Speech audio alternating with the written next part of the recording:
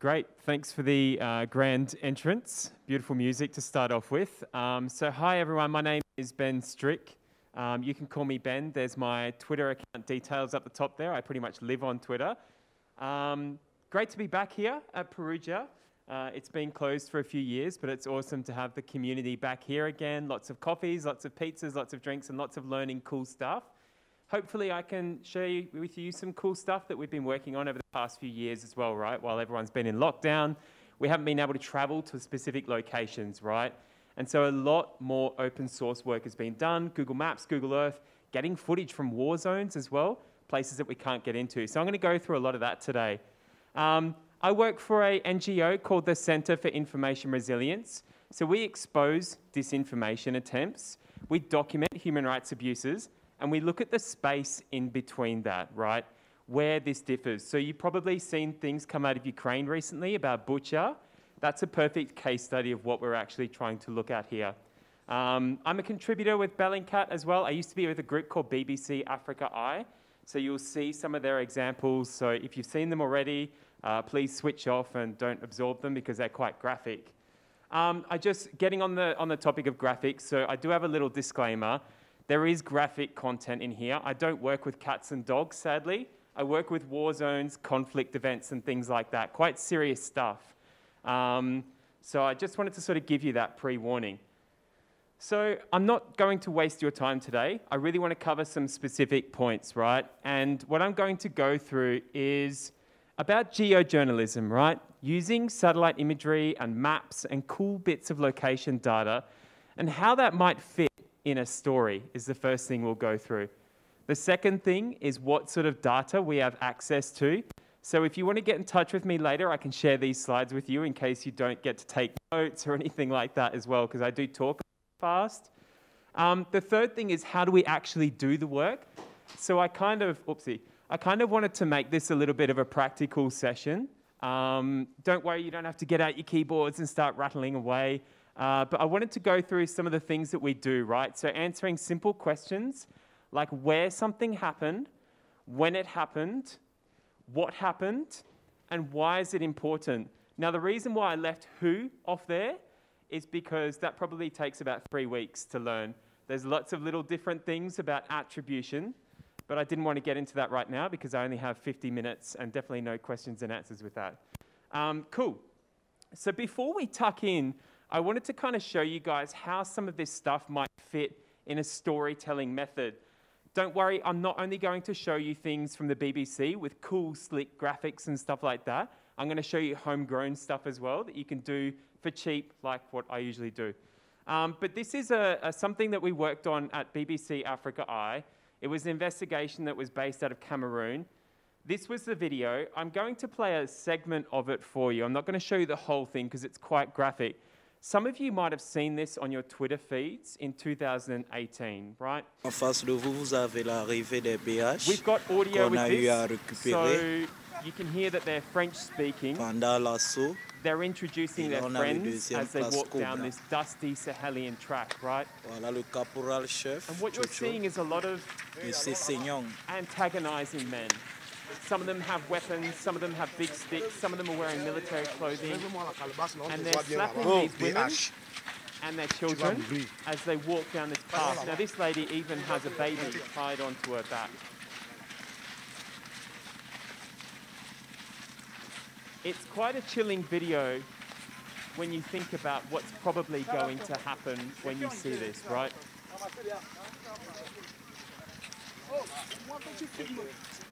I'm not going to play you the rest because it's damaging to your mental health if you actually watch this kind of stuff. Um, most of you have probably seen quite graphic stuff in your times as reporters, journalists, and researchers and investigators. Essentially, what they do is they kneel the women and children down, they blindfold them, and they shoot them 21 times, right?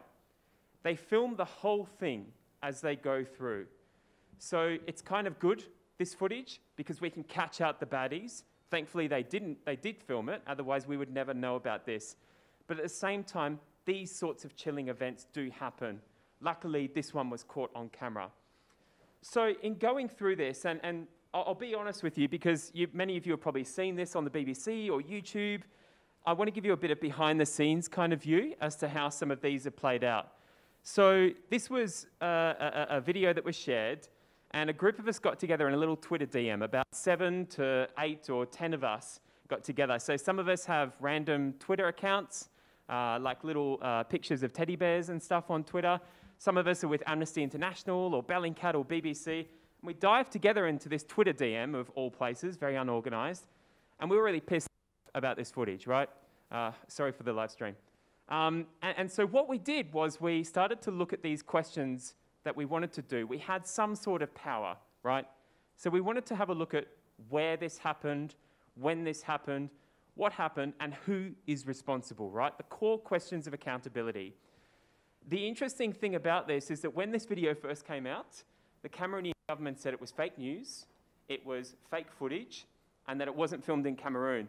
Quite similar to what we've seen done by Russia recently, right? So we thought, okay, well, stuff you, Cameroonian government, we're going to prove you wrong.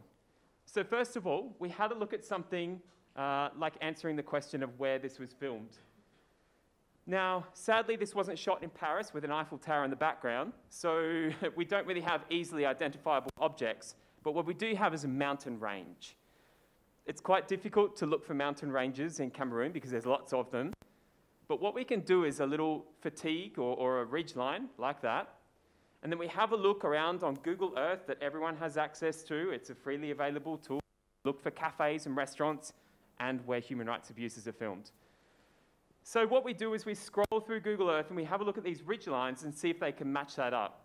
And that was an exact match of this location that was just off the border of Nigeria, specifically northeast Nigeria, Borno State, lots of Boko Haram activity. It's why that guy was saying, you are Biatch, which is Boko Haram. These were refugees being pushed out of Nigeria into Cameroon, and lo and behold, they get executed by the military. So we'd like to drill down a little bit further into details, right? Because as investigative journalists, what we're trying to do is get as much information out of a video as possible. So going forward, we have a ridgeline, that's cool, but we want to match things up a little bit more, always drilling down into minute details. For example, we're able to match this path that we can see with the little kink and, and the bend in the line there. These buildings these other buildings that you can see, and even to the point where we can start matching up trees that we can see on satellite imagery and in the video, right?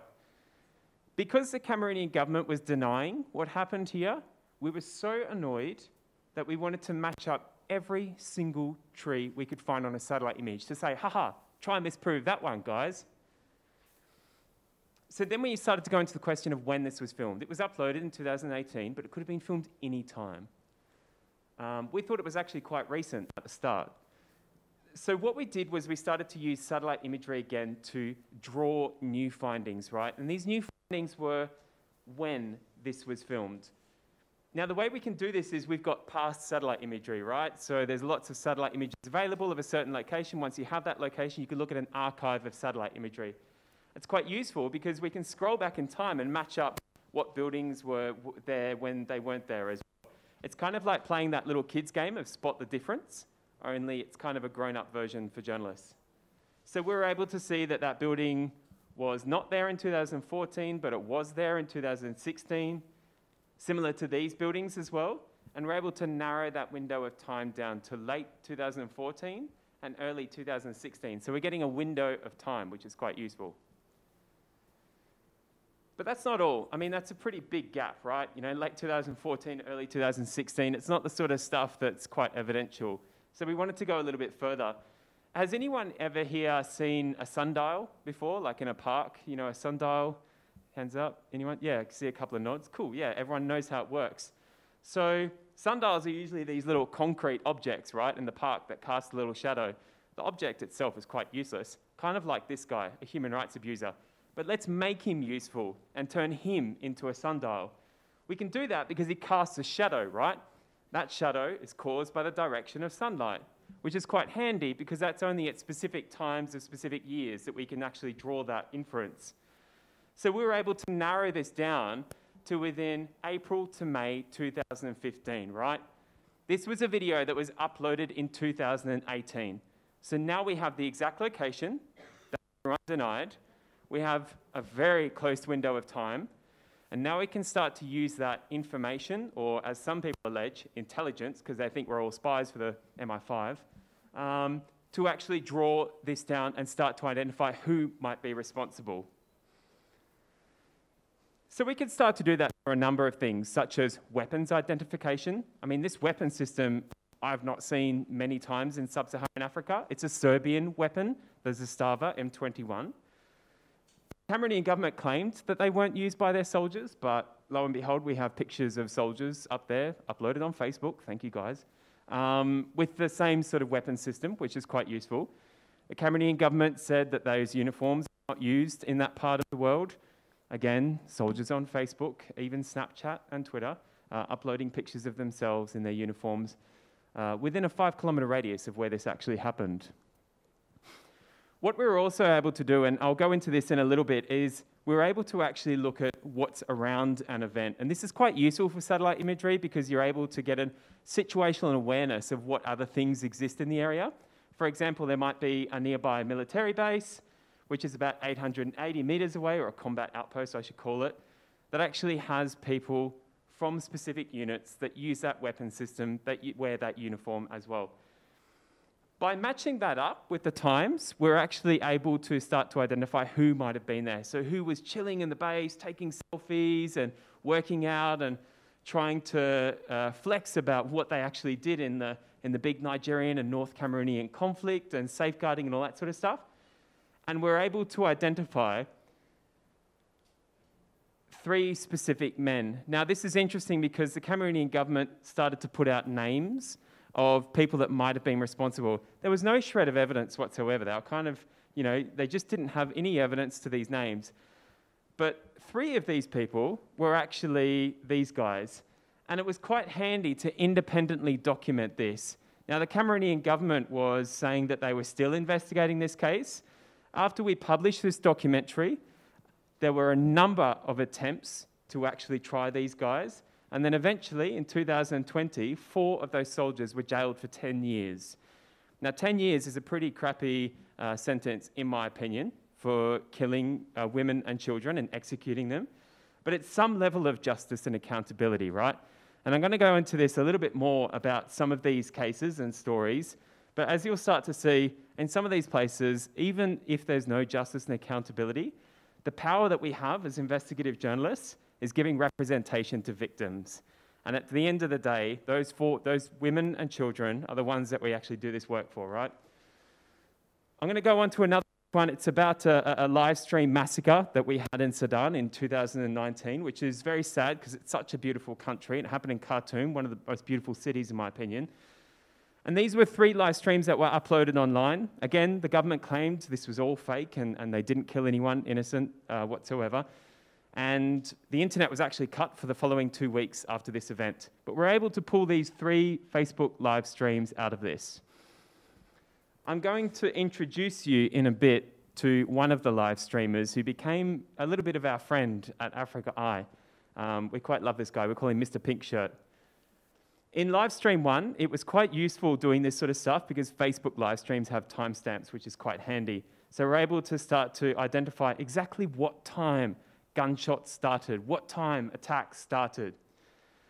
So we're able to map the entire path of where they moved and identify that movement of paramilitary forces and police as they, as they move through through the footage of the live streams, which is quite nice to give that level of representation to these people as they were filming this content, to amplify the human rights abuses that they wanted to expose. So live streamer one was being charged towards by the paramilitary, and he was uh, running away from that. And we jump into now live streamer two, who thought, okay, let's be brave, guys. Let's charge towards these paramilitary with all these guns.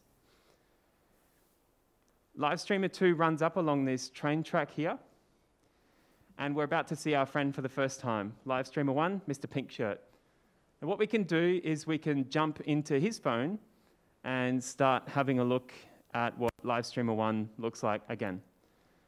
So we'll jump in there. There's our friend, Mr. Pink Shirt. Fast forward a bit because I don't want to waste your time. And now we're going to have a look at where some of the worst occurrences happen. But we're going to look at that through Livestreamer 3's phone. Now, there's Livestreamer 1 and 2, so we can verify that they were filming in that location. Livestreamer 3, take it away.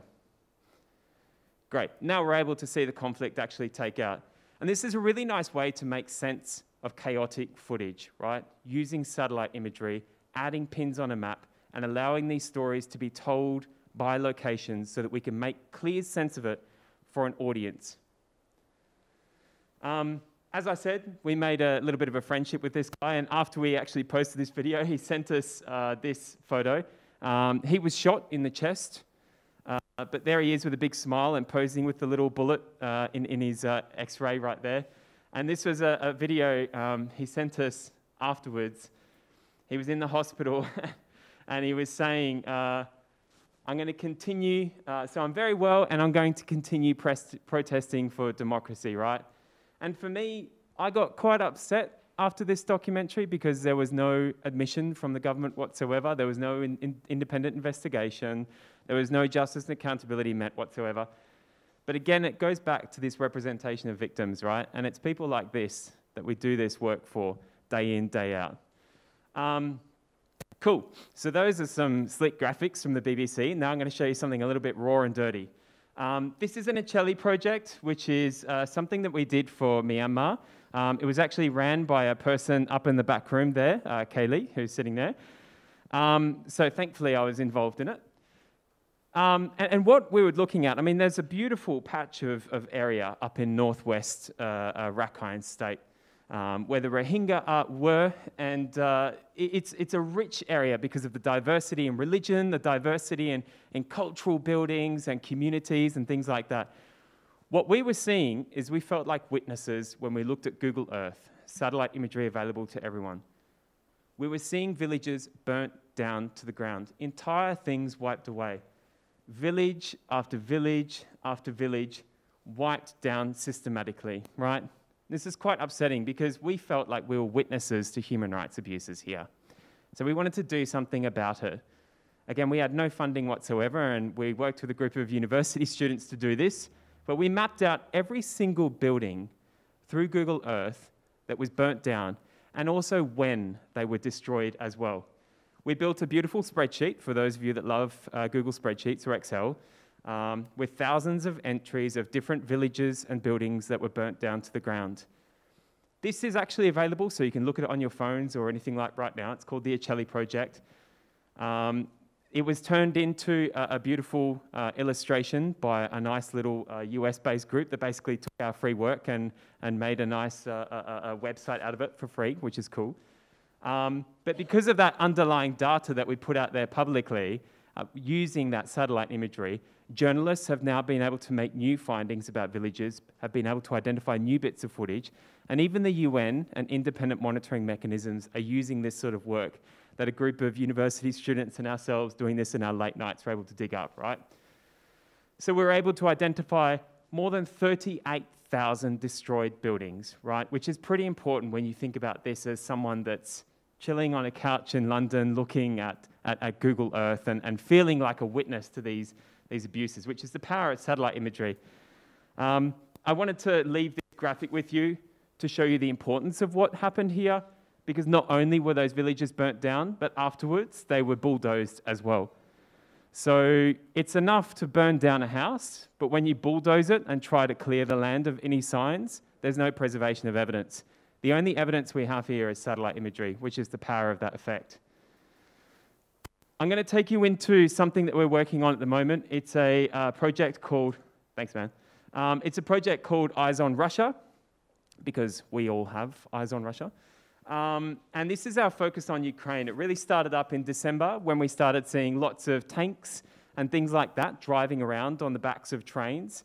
Uh, early in January, and then February, shots fired, right? And conflict and rages.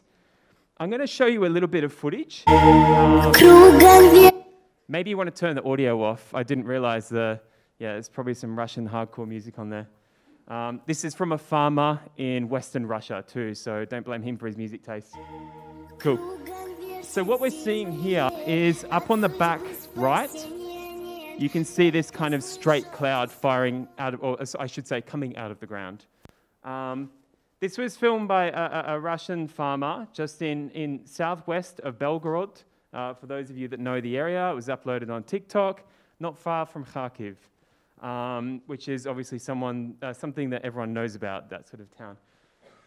This is quite interesting footage, and it was identified by a member of, our, uh, of the community that we're working with at the moment in this mass mapping effort that we're working on to verify footage and log it it's called uh, the Russia Ukraine Monitor Map. You can look at it on your phones, on your laptops, everything is available.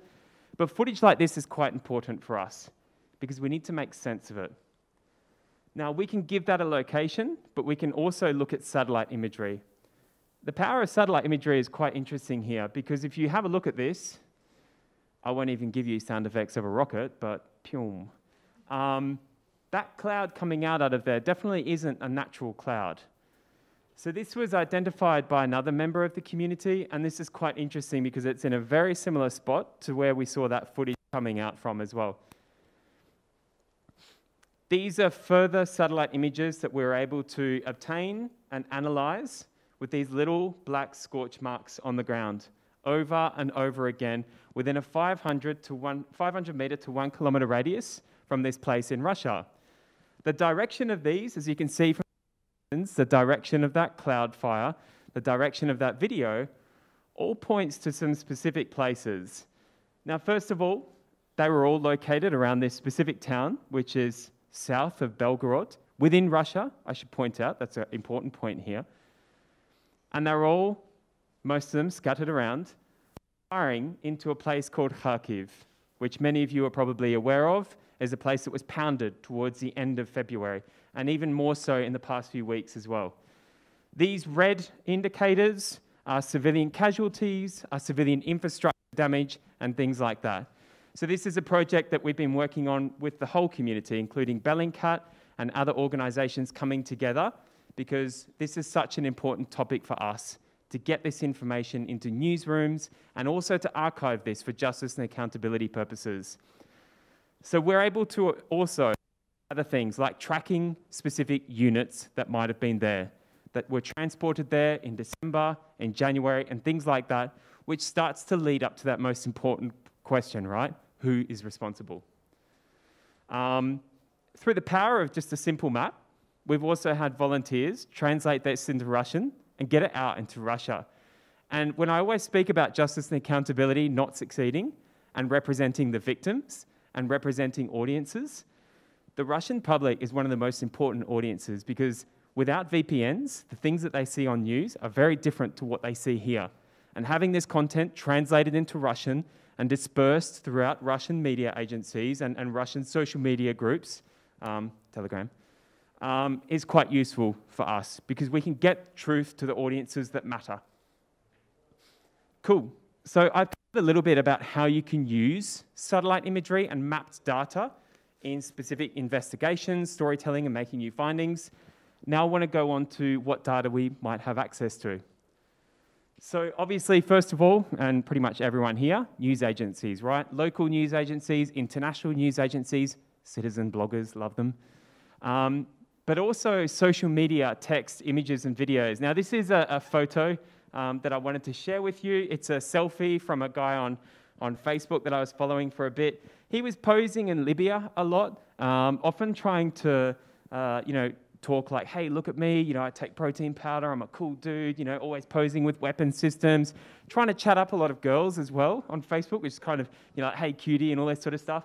And here's a really cool picture that he was posing with uh, here as well, right? Nice selfie. Um, these are some vehicles that have been delivered from Turkey, so accidental breach of an arms embargo in that selfie there, but oopsie. Um, that photo actually ended up in a UN report, which is kind of cool. Um, so that guy was kind of showing off and yeah, used for alternative purposes. But there's a satellite image on the right taken at the, uh, the same day that we can see those vehicles on there. They're BMC vehicles from Turkey, um, and that was a nice little report about a breach of arms embargo. Oops. So obviously we have other things, right? So flight tracking data. Um, I wanted to share this one with you. This is the uh, Relax flight from Air Moldova. Um, it was actually a chartered flight that people bought tickets for and they didn't know where it was going to go, but they knew it was going to be special. And it spelt out the word relax, which is quite nice for people's mental health. Um, but yeah, flight radar is also awesome. shipment data is awesome, right? And vessel tracking data. So this is something that's uh, it's marine traffic, which for those of you that don't use, you should probably use if you're tracking Russia, especially oligarchs. Uh, this is a, a, satellite image that was posted of uh, a very nice vessel called the Nord, uh, owned by one of Russia's richest people, uh, also a chief funder of Putin. Uh, this is it in the Seychelles. It was allegedly seized, and then it ended up in a place called Vladivostok, which is in Russia. So, oops. Um, and it was there as of March 31, so about eight days or nine days ago, um, which is quite cool. So we know where it is. um, obviously, geospatial data is a really cool one. So this is like data you would find on maps. Um, does anyone drink beer here? Hands up. Yeah, cool. Do you want to know where good beer is? Yeah. There's a really cool app called Untappd. Um, it's a beer review app. It's like a crowdsource app. And that's the uh, view on the right for Perugia, even. So you can imagine in cities, like big Western cities, this is quite a popular app, right? People post selfies, they have their own personal details on here. Um, some of the volunteer work I've done with Western law enforcement groups, where we've tracked sexual offenders and child sex offenders, has actually seen raging success with apps like this, where we're able to identify nearby locations if those of you want to do some cool stuff, have a look at the Pentagon or things like that. I think Bellingcat even did an article about that.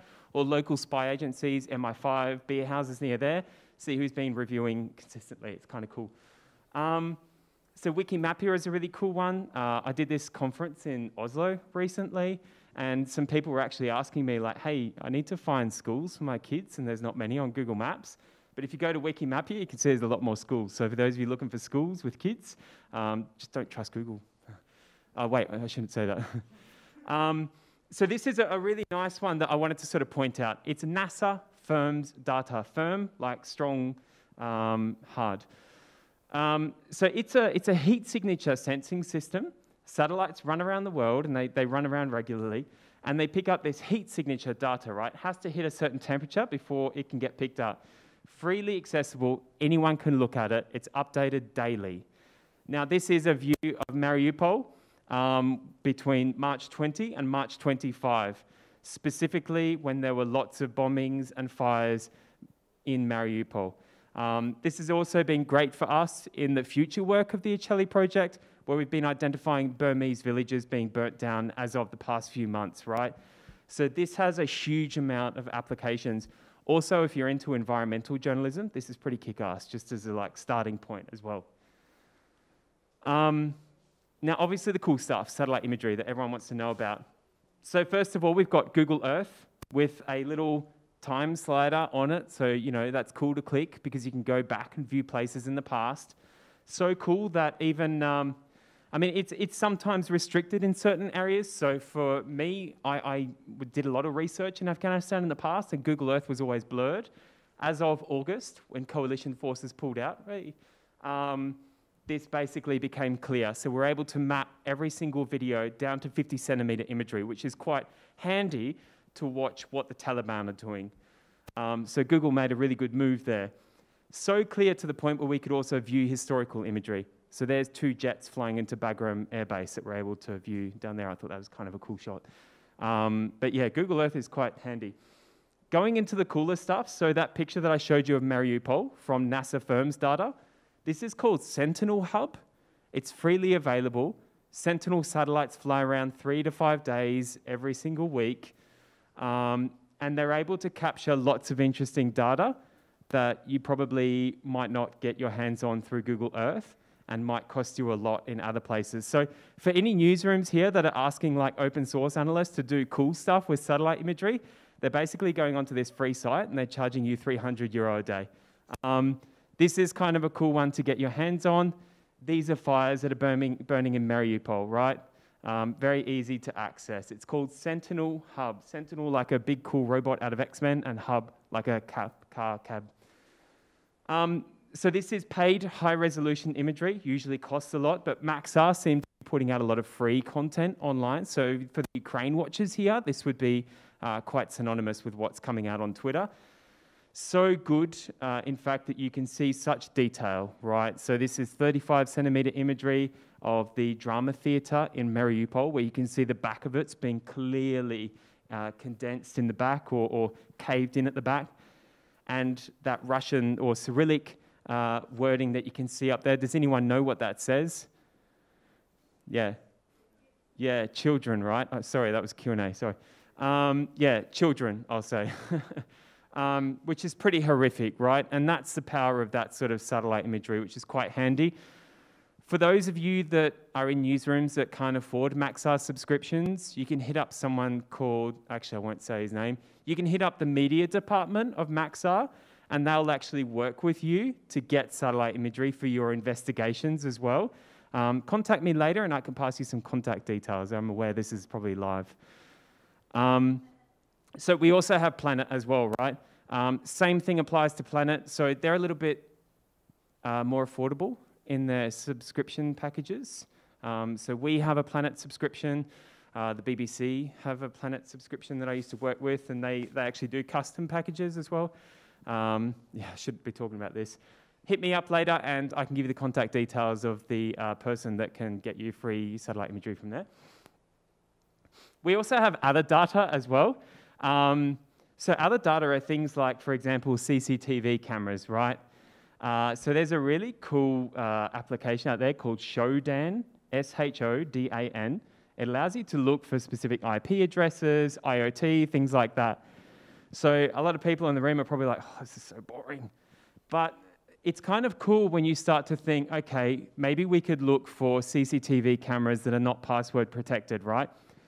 Area near Belgorod, where they're firing from, is actually a place that also has good CCTV coverage from farmers that want to watch animals or want to watch their property when they're not there as well, right?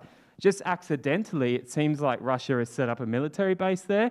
So we're able to watch 24 7 footage of them as they sort of chill around that area. Um, let me play a cool little video that I was watching the other day. So these are like these alleged uh, elite soldiers and they're building a little communications hub on one of these buildings. Um, and I thought this was nice to share with you guys.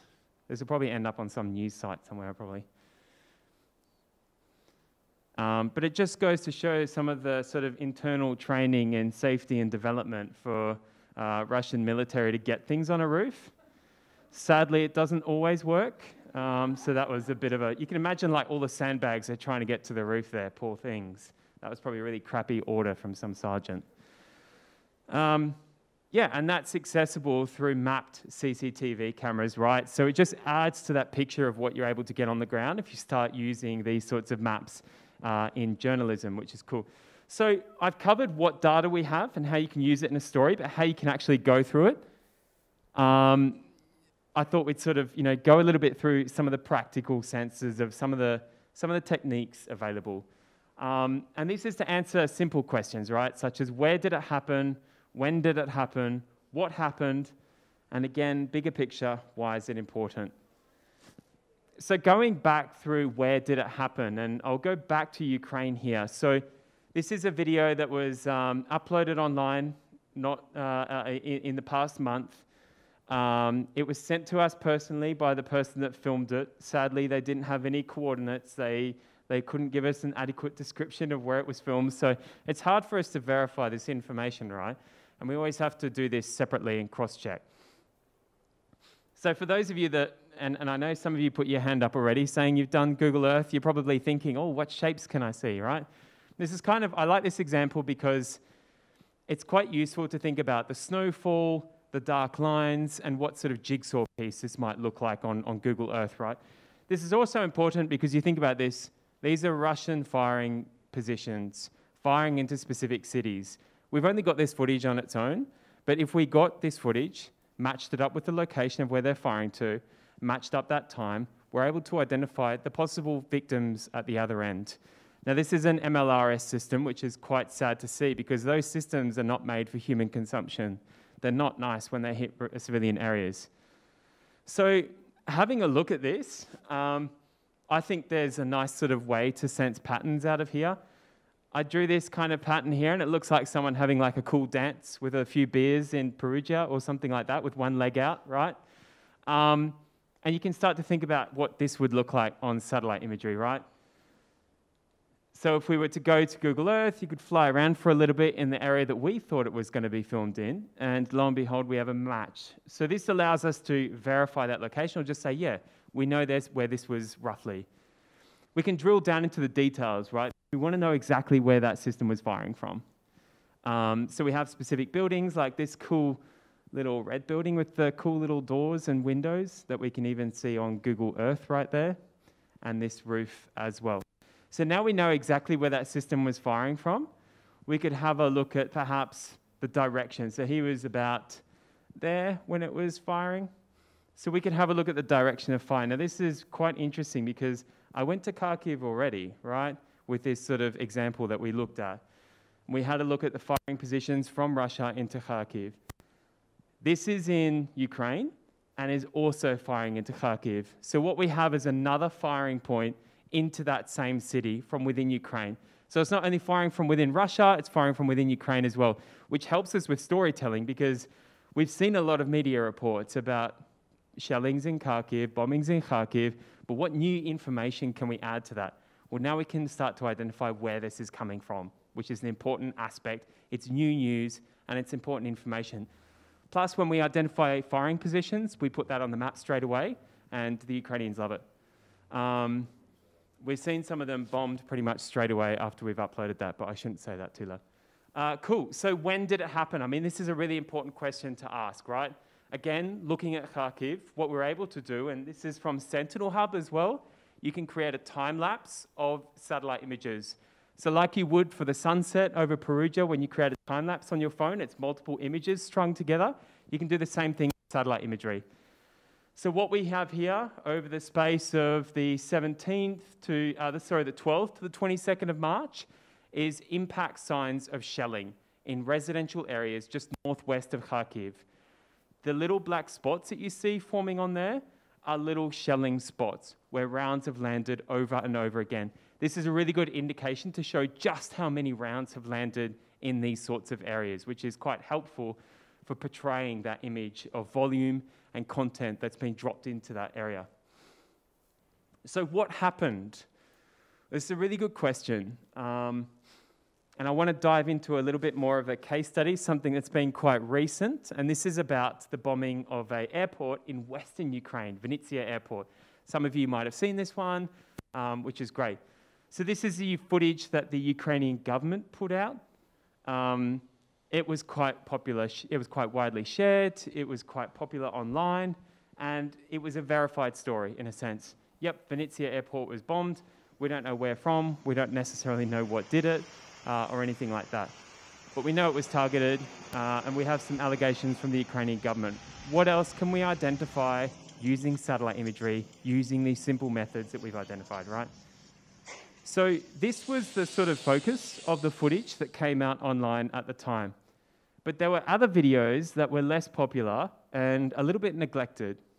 Videos that looked like these.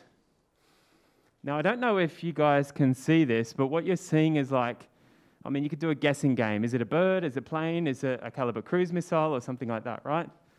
And what you can see is it's flying through.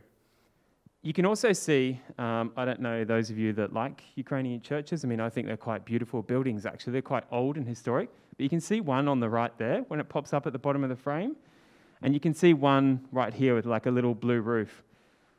They all have their own design and they're quite lovely to look at, especially the insides of them on Google Maps, uh, but I won't go there. But what we're looking at here are sort of features that we can recognize or features that we might have near Vinnytsia Airport, for example because that was uploaded at the same day, same time. Cool. So we went ahead and geolocated these to identify, hmm, can we maybe find where this is coming from? And we married that up with the impact point of Vinnytsia Airport. We had one sighting of a Kalibr cruise missile here with the Blue Roof Church. We had one sighting of a Kalibr cruise missile here with this sort of big clock tower and large spire church as well. And we're able to identify that straight line of fire coming from Moldovan airspace, which is quite cool.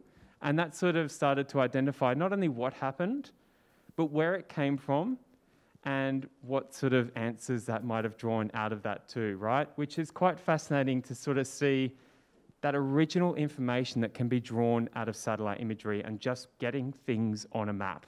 Um, yeah, that was quite handy. So going back and circling back to why is this important? I think there's a couple of things to think about here, right? And we've all seen that from Bucha recently. Verified information on the ground, footage of bodies on the ground, clearly dead bodies, um, satellite imagery posted, thankfully, from New York Times via Maxar. And yet we still see the Russian government deny and claim that it's fake footage, fake events that are happening on the ground, right? So you can see how this starts to really help in journalistic storytelling as well as justice and accountability, right? So it's informing and assisting media. Um, my purpose, I'm actually originally a, a, journalist, but you know, so I'm not out to say let's all do open source and ditch journalism, but rather you can use it to amplify your stories and to make new findings and use it in your own toolkit as journalists, right? Um, obviously, justice and, justice and accountability mechanisms are great. So I've moved to an NGO to do this work specifically for justice and accountability, assisting the UN, assisting judicial organizations, humanitarian relief efforts, and things like that. Um, because it's, it's great to sort of have that sense of power when you're, when you're assisting groups like that. I think one of the biggest things is about how the fact that we can show the evidence and not just tell it. So if I was to take you back to that first video of Cameroon and I was to say, hey, yeah, these are Cameroonian soldiers. It was filmed in this location at this time. You'd be like, well, I don't believe you. Show me, right? And that's a good way to fight disinformation attempts and different state narratives. But I think the most important one at the end of the day, and what I sort of love doing this work for, is the representation of victims. And that second video that I showed you um, from Sudan really sort of hits home for me we got sent this video after that, and it's quite interesting. I've been in touch with this little family. So this is a this is a mother, her little, her little boy, um, and her uncle was filming this. And I'll play this video for you in a bit. We're in touch with them because they said when that documentary came out, we, we had news reports coming out which were helpful, but we were able to use this as evidence to show what happened to us on those specific days, to show the persecution we've been under by the government, by the paramilitary, and groups like that. Really interesting because after our documentary came out, the military started to counter paramilitary forces when they started to kill people. And so this was filmed during a gunfight. Guys, it's probably going to be quite loud. Um, good, it's not too loud. Ha, no audio. You can hear the gunfire over the background. The mum is saying to her little boy, they're just playing, they're just playing, it's fine. Um, and the uncle says, go like that, go peace. And so the uncle is saying, we should play this back to him one day because he'll probably be able to vote one day. And it's that sort of information that I think there's been no court case, there's been no justice and accountability but those people are still out battling it out on the streets. And it's for those little kids that are trying to fight for democracy in the future, right? That are able to vote one day. So, my name is Ben Strick. That's geojournalism, and thank you for attending.